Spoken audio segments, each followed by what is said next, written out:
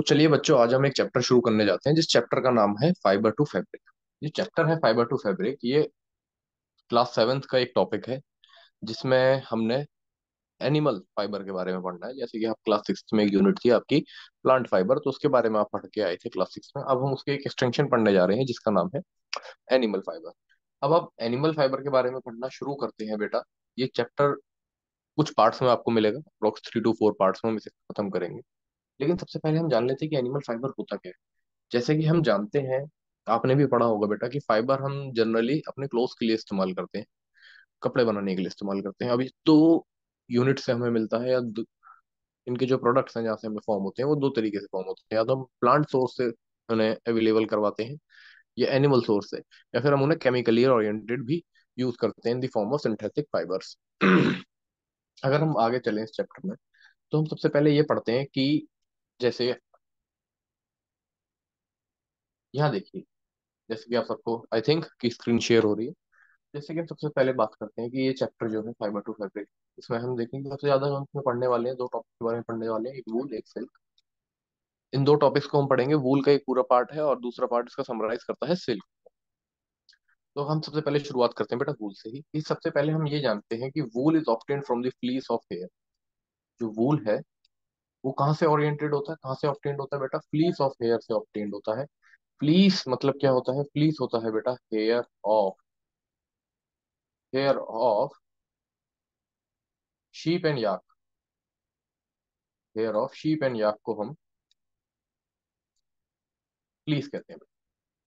अब क्या होता है ना आ, कि जो फ्लीस है वो एक्चुअली में उनके हेयर्स होते हैं एनिमल्स के जिनसे से हमें वूल मिलती है। और दूसरा है कि सिल्क, जैसे कि दूसरा टॉपिक हमें मालूम है, हमारा इसमें सिल्क है। सिल्क हमें कहाँ से ऑप्टेन होता है बेटा? सिल्क हमें ऑप्टेन होता है कोकून से, कोकून और सिल्क मॉथ से। आगे हम बेटा इसमें चलते हैं चैप्टर में हम इसमें सबसे पहले हमें जो हमने पैरा पढ़ा, इसमें पता चली कि वूल हमें ऑप्टेन होती है। फ्लीस से फ्लीस यानी कि hair of sheep and yak और हमारे पास जो वो सिल्क है वो ऑप्टेंड होती है कोकोन, यानी सिल्क मॉथ से। अब हम बात करते हैं वूल की। वूल जो है, सबसे पहले हमें कहाँ से मिल रही है? वूल हमें मिल रही है बेटा शीप से, गोट से याक से और ऐसे ही कुछ और एनिमल्स हमें शीप वूल प्रोवाइड करवाते हैं। These wool yielding animals bear hair on their body in wool yielding animals की बॉडी पे हेयर होते हैं जिनपे जो कि फाइनल आउटकम हमें, जिन जिन हेयर्स का फाइनल आउटकम हमें वूल की फॉर्म में मिलता है। अब आपको ये जानना बहुत ज़रूरी है कि वूल जो होती है, जो फ्लीस होती है, ये इतनी गर्म क्यों रहती है? इतनी वार्म क्यों रहती है? तो हम इसके बारे में जानते हैं कि जैसा कि आप सबको पता है कि air is a poor conductor of heat air जो है वो एक पुअर कंडक्टर है हीट का. और जो बच्चों इन एनिमल्स की फ्लीस होती है, उसके अंदर बहुत large amount of air trapped होती है, जिसकी वजह से ये विंटर्स में गर्म फील देती है और जानवर भी उस ठंडे एनवायरनमेंट में हैबिटेट में सरवाइव कर पाती।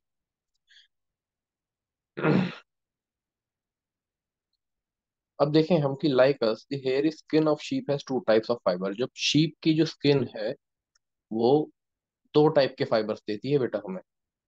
अब वो दो टाइप के फाइबर्स क्या है? वो दो टाइप के फाइबर्स हैं। एक तो है बेटा द कोर्स बेयर्ड और दूसरा है under hair which grows close to the skin ये दो तरीके के हेयर एक शीप की बॉडी पे निकलते हैं कोर्स हेयर होते हैं और एक फाइन सॉफ्ट अंडर हेयर होते हैं, जो स्किन के बहुत क्लोज ग्रो होते हैं तो जनरली सॉफ्ट इन नेचर होते हैं। जो फाइन हेयर होते हैं बेटा the fine hair of fibres are use for making wool जो फाइन हेयर होते हैं, इन्हीं से हम वूल बनाते हैं और जो अंडर हेयर होते हैं, वो इसमें फॉर्म करते हैं वूल बनाने। में अब एक चीज़ हम जानते हैं कि हम ये जानते हैं कि अलग अलग ब्रीड ऑफ़ शीप्स होती हैं अलग अलग काइंड ऑफ़ शीप अलग अलग काइंड ऑफ़ गोट होती हैं। तो एज पर दी ब्रीड उनकी जैसी ब्रीड होती है बेटा, उस ब्रीड के हिसाब से उनकी हेयर क्वालिटी भी होती है। अब एक सेलेक्टिव प्रोसेस यूज़ करते हैं जो लोग शीप रेयर करते हैं या जो शीप पालते हैं for the purpose of wool वो क्या करते हैं?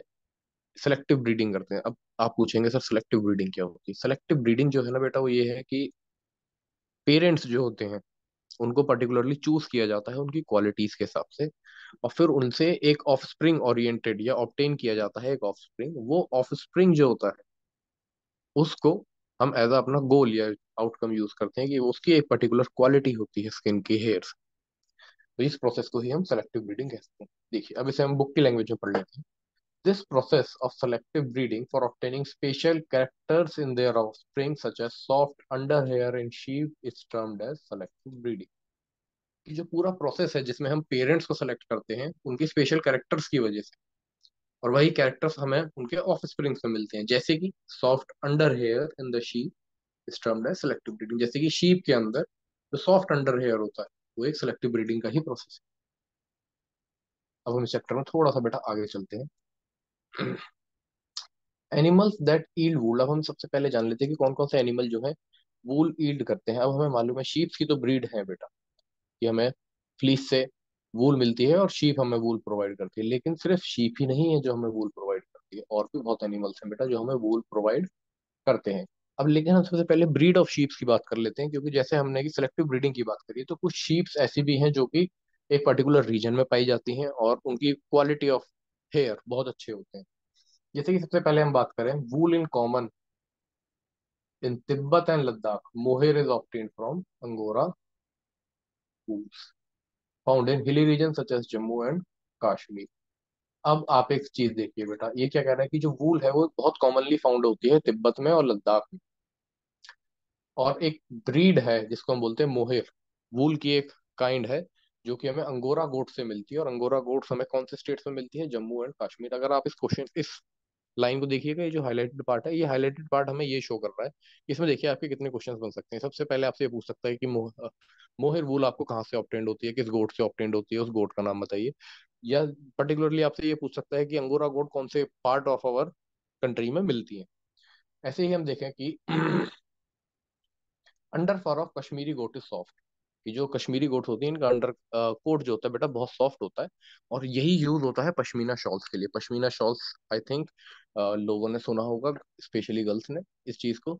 अगर आप पश्मीना शॉल्स के बारे में नहीं जानते तो आप प्लीज़ अपने एल्डरली फीमेल आपके घर में जो होंगी, उनसे एक बार बात कीजिएगा, वो आपको डिटेल में इस चीज़ के ऊपर अच्छे से समझा पाएँगी। अब हम बात करते हैं कि बेटा वूल जो है ना, वो सिर्फ़ हमें शीप और गोट से नहीं मिलता, वूल हमें बॉडी ऑफ़ कैमल से भी मिलता है। ठीक है, और कुछ साउथ अमेरिकन ब्रीड्स भी हैं जो कि वूल ईल्ड करती हैं, जो कि आपके इसमें दे रखा है लामा एंड अल्पाका जो कि साउथ अमेरिका में फॉर्म होती हैं। ये आप फिगर्स में भी देख सकते हो। फिगर्स में आपको शो करता हूँ बेटा। फिगर्स देखिए, ये लामा कुछ इस तरीके से दिखती है, ये अल्पाका होती है, ये कुछ इस तरीके से दिखती है। आप देख सकते हैं कितना थिक हेयर कोट है अल्पाका अल्पाका के ऊपर स्पेशली चलिए बेटा हम इस चैप्टर को आगे कंस्टिट्यूट करते हैं। आगे हम देखते हैं सबसे पहले इसमें जो आता है हमारे पास। Fibre to from fibres to wool अब हम फाइबर से वूल तक का जो जर्नी है हमारी, वो कैसे कवर करते हैं, उसके बारे में हम पढ़ते हैं। सबसे पहले एक टॉपिक आता है बेटा हमारे पास। Rearing and breeding of sheep ये जो आप बोल्ड में देख रहे हैं, मैं हाईलाइट भी कर देता हूँ आपके लिए कि rearing and breeding of sheep अब हम आपने जनरली अगर आप में से किसी ने नॉर्थ इंडिया में ट्रैवल किया होगा तो आपने कभी ना कभी देखा होगा कि जैसे स्टेट्स हैं, जम्मू कश्मीर है, हिमाचल है, उत्तराखंड है या आप नॉर्थ ईस्ट की साइड ट्रैवल कर रहे हैं अरुणाचल प्रदेश या सिक्किम तो आप देखोगे यहाँ पे आपको कभी कभी हर्ट्स देखने को मिलते हैं। आपको शेपर्ड्स मिलेंगे, उनके साथ बहुत सारी लार्ज अमाउंट ऑफ़ फ्लॉक चल रहा होता है शीप्स का या गोट्स का। तो जनरली वो क्या करते हैं, वो पालते हैं बेटा ब्रीड करते हैं इनको शीप्स को गोट्स को, जो भी हमने एनिमल्स एग्जाम्पल्स में देखे, जो हमें वूल प्रोवाइड करते हैं, उनको वो रेयर करते हैं, उनको ग्रेजिंग के लिए लेके जाते हैं स्पेशली उनके लिए स्पेशल डाइट दी जाती है। वो स्पेशल डाइट जो होती है, आप देखिए, यहाँ पे आपको कुछ बता रखे जैसे हमें मालूम है कि जो शीप्स और गोट्स होती हैं जनरली ग्रास प्रेफर करती हैं खाना। लेकिन उन्हें pulses corn jowar oil cakes ऐसा मटेरियल भी दिया जाता है बेटा खाने के लिए, जिसके अंदर मिनरल्स होते हैं, जो कि विंटर में उनके लिए बहुत हेल्प देता है। और इंडोर रखते हैं उन्हें सर इन टर्म्स जब विंटर आ जाती है तब उन्हें इंडोर रखते हैं ताकि उनका कोट खराब ना हो। उनके हेयर कोट्स खराब ना हो, इसलिए हम उन्हें विंटर में घर के अंदर रखते हैं।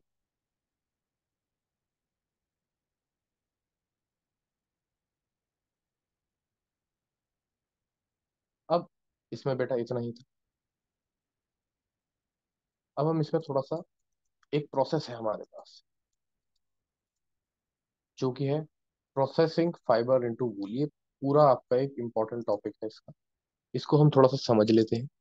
प्रोसेसिंग फाइबर इनटू वूल सबसे पहला जो हमारे पास आता है कि the fleece of sheep along with the thin layer of skin remove from its body this process is called shearing जब हम फ्लीस को रिमूव कर देते हैं, जो कि शीप की स्किन पे होता है, इस प्रोसेस को हम शेयरिंग जानते हैं। शेयरिंग बोलते हैं। इसका आपका क्वेश्चन भी बन सकता है कि व्हाट इज़ शेयर अब इसके लिए हम दो तरीके से यूज़ कर सकते हैं। भी हमारे पास कुछ ऑप्शन थे जैसे कि हम उनके हेयर शेव कर सकते हैं, जैसे बार्बर शेव करते हैं। हॉट वेदर्स में जनरली गर्मियों में हम उनके हेयर शेव करते हैं। या तो फिर हम इलेक्ट्रॉनिकली चार्ज शेवर्स का इस्तेमाल कर सकते हैं।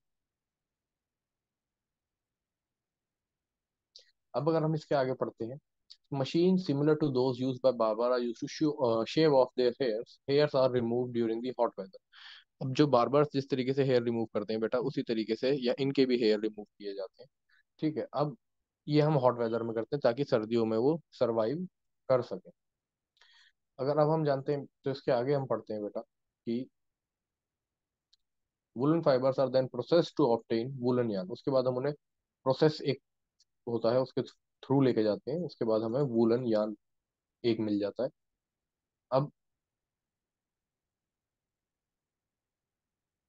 आगे चलते हैं। अब यहाँ पे आपको एक नीचे टेबल दे रखी है। ये टेबल अगर हम देखते हुए चले तो इसमें पता चलता है, ये ब्रीड्स दे रखी हैं आपको। ये क्वालिटी ऑफ़ वूल दे रखी है बेटा। और ये स्टेट कहाँ कहाँ पे मिलती है? एक बहुत इंपॉर्टेंट पार्ट है। ये आप प्लीज़ छोड़ के मत जाइएगा। एमसीक्यू या वन मार्क ओरिएंटेड क्वेश्चंस में आपको देखने बहुत जैसे कि लोही ब्रीड है। अच्छी क्वालिटी की वूल हमें देती है। राजस्थान, पंजाब में मिलती है। रामपुर बुशहर ब्राउन फ्लीस होती है। उत्तर प्रदेश और हिमाचल प्रदेश में मिलती है। नली कारपेट वूल देती है मतलब फाइन क्वालिटी ऑफ़ वूल नहीं है। राजस्थान, हरियाणा, पंजाब, तीन जगह मिलती है। Bakarwal for woollen shawls Jammu and Kashmir, ये हमने पढ़ा था, पश्मीना शॉल के लिए भी इस्तेमाल होती है। मारवाड़ी कोर्स वूल देती हैं, जो कि गुजरात में रहती हैं। पटनवाड़ी और हौजरी के लिए इनकी वूल यूज़ करी जाती है, जो कि ये भी ब्रीड हमें कहाँ मिलती है बेटा? गुजरात में। अब हम इसी में आगे चलते हैं। स्टेप टू देखते हैं। जब शेयर्ड स्किन है with hair is thoroughly washed in tanks to remove grease dust and dirt this is called sorry जो हमने वूल शेयर करी थी उनकी बॉडी से, अब अब उन्हें एक तरीके से साफ़ करते हैं बेटा थ्रू एक प्रोसेस से लेके जाते हैं, जिसके वजह से उनके अंदर से ग्रीस डर्ट और डस्ट निकल जाए। इसी प्रोसेस को स्कोरिंग कहते हैं। ये आजकल मशीनों से होती है बेटा। अब स्टेप थर्ड हम देखें कि स्कोरिंग के बाद हम क्या करते हैं? सॉर्टिंग करते हैं। The hair is skin is send to factory where hair of different textures are separated और सॉर्टेड इसके बाद जो हेयर्स होते हैं, वो एक फैक्ट्री में सेंड किए जाते हैं या एक प्रोसेसिंग यूनिट में सेंड किए जाते हैं, जहाँ पे उनको सॉर्ट आउट किया जाता है उनकी क्वालिटीज के बेसिस पर अच्छी क्वालिटीज एक साथ और जो उतनी फाइन अब क्वालिटी नहीं है, उसको बेटा अलग कर देते हैं the small fluffy fibers called burrs are picked out from the hair. These are same burrs which sometimes appear on your sweaters. अब उनके ऊपर से बेटा फैक्ट्री के अंदर ही बर रिमूव किए जाते हैं बर आप समझें क्या होते हैं बर आपने कभी वूलन क्लोथ पे देखा होगा, जो हमारे खासकर स्पेशली पुराने वूलन क्लोथ्स होते हैं, उनके ऊपर एक आउटकमिंग सी आ जाती है बेटा, कपड़े की सी, वूलन क्लोथ की, उसी को हम बर कहते हैं। ये आपने अपने स्वेटर्स पे देखे होंगे। उनको रिमूव करके उन्हें वापस स्कोर किया जाता है, साफ़ किया जाता है, फिर उन्हें ड्राई किया जाता है। The fibres can be dyed अब क्या होता है बेटा जनरली जो शीप फाइबर होता है ना, जो शीप की वूल होती है, जो हमें उससे हेयर के फॉर्म मिलती है, वो जनरली व्हाइट या ब्राउन लिमिटेड कलर्स में आती है। लेकिन अगर हम मार्केट में जाके वूल देखते हैं तो वूल हमें बहुत वैरायटी ऑफ़ कलर्स में मिलती है। अब ये कैसे होता है? अब हम क्या करते हैं, हमने देखा कि उसके अगले प्रोसेस में जब हम सॉर्टिंग कर लेते हैं, उसके बाद बर्स रिमूव कर देते हैं, दोबारा स्कोर कर लेते हैं उन्हें, उसके बाद हमारा प्रोसेस आता है उन्हें डाई का।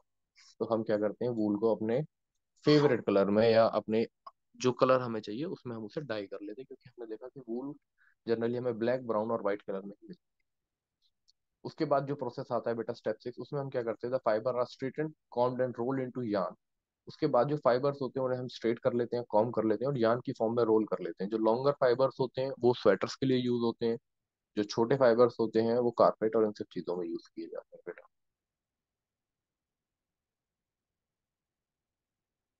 ये हमारा एक प्रोसेस था।